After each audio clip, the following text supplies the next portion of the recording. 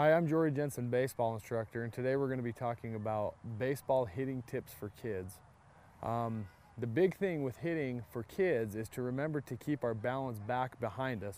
As we swing, we want to keep our weight back behind us, behind our behind our back leg. Um, a good hitting a good hitting tip and a, and a, good hitting drill is that we work on our load. And just a small phrase that I use uh, with the kids that I teach um, is to hit the ball, referring to our load, our stride, and our swing in, in that order.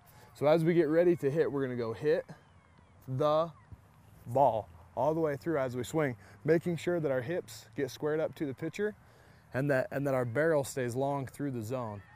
Um, the idea is to have our barrel stay in the zone for the longest amount of time. And as our hips, as our hips work with our body to swing through the baseball, it gives us a chance to be able to hit the baseball on the barrel and, and therefore giving the baseball backspin, which will give the ball uh, a better flight.